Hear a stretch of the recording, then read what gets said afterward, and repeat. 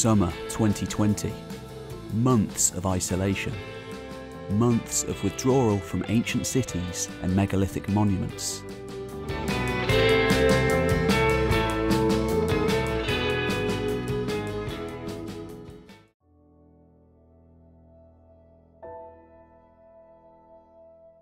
In late July, finally, historic sites begin opening up again to the public for a brief window.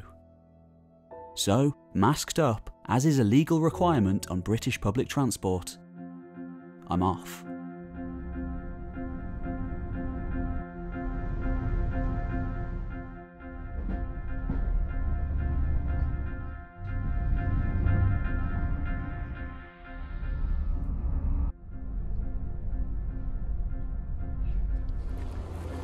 So I've just got to Ely in the Fens. Today it's a modern town, similar to most towns in Britain. But uh, once, a thousand years ago, this entire landscape was coated in a thick layer of boggy marsh known as the Fens. Later on it was drained in the later Middle Ages by monks who could then use it as uh, some of the most fertile farmland in the whole country. But uh, it's a very historic landscape here.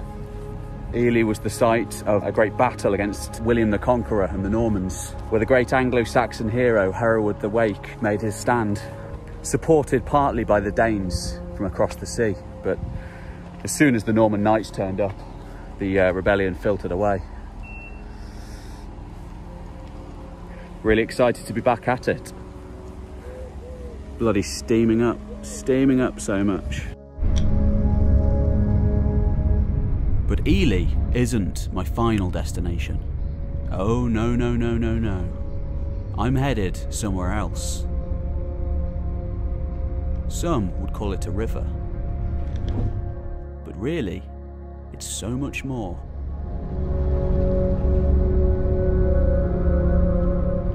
An ancient highway leading to the sea. Long before Vikings and Normans. The first invaders to come to this land in the Middle Ages, in the twilight after the fall of Rome, were the Anglo Saxons.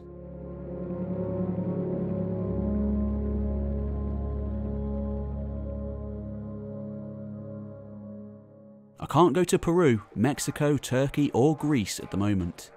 My trip's all being cancelled indefinitely. So I'm headed closer to home instead.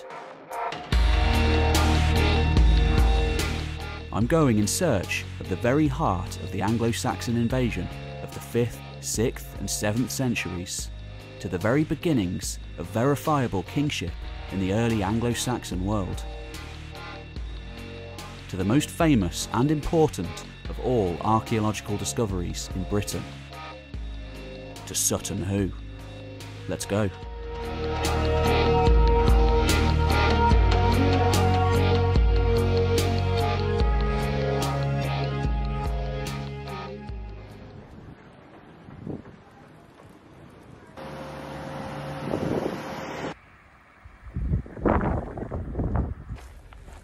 So I've arrived.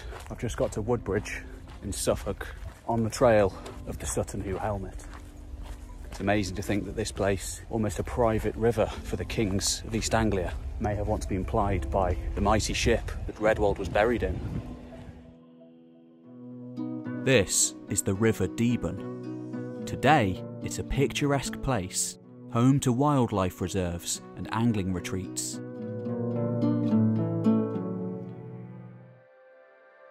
But 1500 years ago, this was a highway. And in 1939, site of an incredible archaeological discovery. I'm walking along this river from Woodbridge to the burial mounds of the kings of old.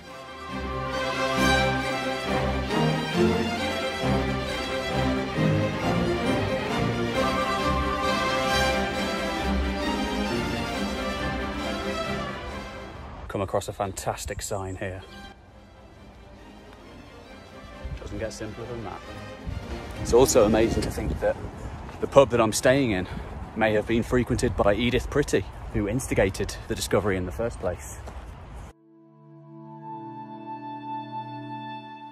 I later found out that many of the archaeologists working on the dig in 1939 did indeed stay at the Bull Hotel, where I was staying.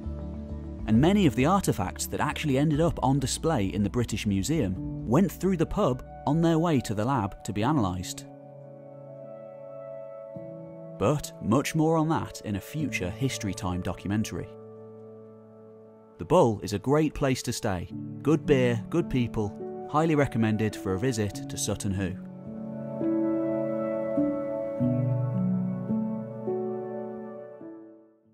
So we've got boatyards all along this little passageway that we're walking along the River Deben. It's not too much of a stretch to imagine similar shipyards existing all the way back in the early Middle Ages. We know that Ipswich was a trading centre from the 7th century AD. Why not Woodbridge? So behind me we have the town of Woodbridge. Over off on the other side of the river is the royal burial ground of the East Anglian kings. Now, surely this river itself, their mounds overlooking it, the source of their power, artery all the way to the North Sea, going to Denmark, Sweden, the land of Beowulf beyond, Geatland. Surely this was a private river dominated by these kings, perhaps even a source of their power to begin with. If you can hold the entire river, exacting tribute off anyone who plied your waters, you'd be extremely rich. Riches would buy retainers. Retainers would win you lands. And there we have the very birth of a monarchy in England. Divine right of kings would have started in places like this. One of the earliest places settled by the Anglo-Saxons in Britain. This is a historic landscape. The inspiration for Tolkien's Lord of the Rings the Middle Earth of the Anglo Saxon era is one steeped in mystery and intrigue. For the most part, too far removed from the literate world of previous and later ages to say much with certainty in history. Instead, much can be gleaned from archaeology and the landscape itself at places like Sutton Hoo.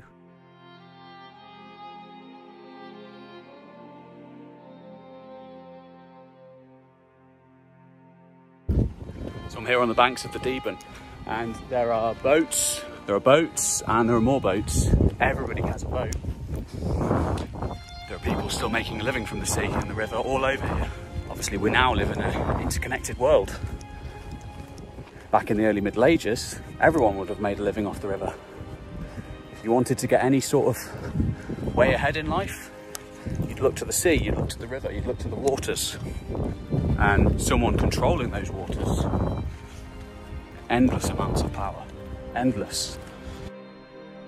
I cross over a bridge, leaving the water behind me as the outlying trees of Rendlesham Forest begin to rise. A little further on, I begin to see the unmistakable upcoming signs of an English heritage site. This road's kind of intense.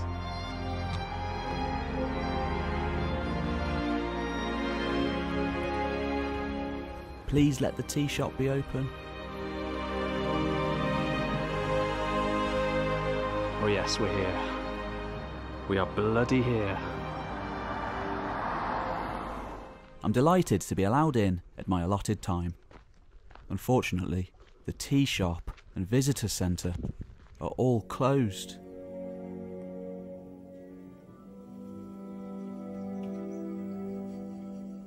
But the rest of the site, at least, is good to go.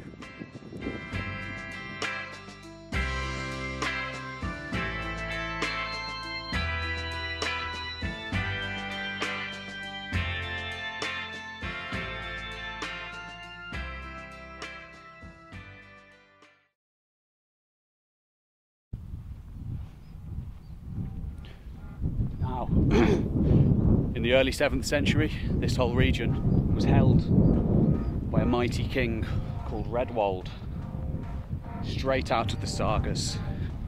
This was a ruler who wore a helmet, reminiscent of the ones found at Vendel and Valsgard in Sweden.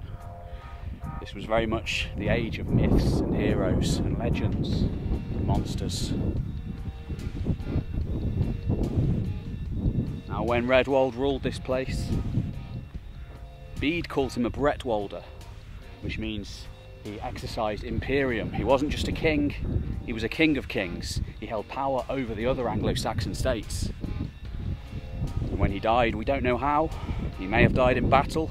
We know his son died in battle at the River Idle against the mighty Ethelfrith of Northumbria, a conquering warlord of the north who brought the Old North to his knees. Raedwald converted to Christianity at one point in his life, so Bede tells us. We actually find what may well be his baptismal spoons. Uh, we can still see those at the British Museum today, with Saul and Paul written on them. And it may well be, I mean, it may well be that he hedged his bets at the end of his life. And they were put inside his burial mound with his grave goods because Redwald died a pagan. He was buried with all the trimmings of the pagan world, covered with all of the items needed to rule in an Anglo-Saxon context. Ceremonial shield, swords, spears, sacrificed with horses, men even. And when he died, this was a king who was loved by his people. His warriors, his kinspeople, dragged him in a boat from the River Deben that he controlled all the way up this hill to inter him in the earth. There's a very similar funeral in Beowulf, two of them in fact. And we get a little bit, a little bit of the symbolism, a little bit of the, the feel of that time when we come here.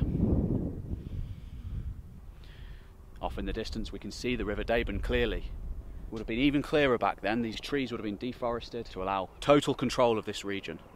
Redwald's royal capital at Rendlesham is upriver, downriver. We go all the way to the North Sea and the continent beyond. Trade, wealth, power. And here we go. We're going to walk up the hill. We're going to walk up to the burial mounds of the past. Let's go have a look.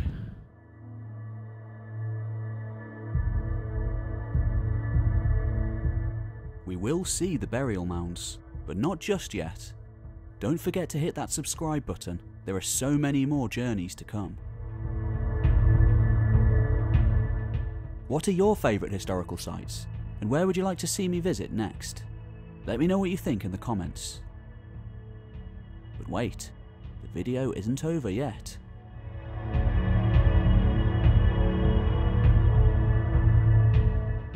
I'm temporarily free from the constraints of three hour history documentaries. Ha ha ha ha ha ha.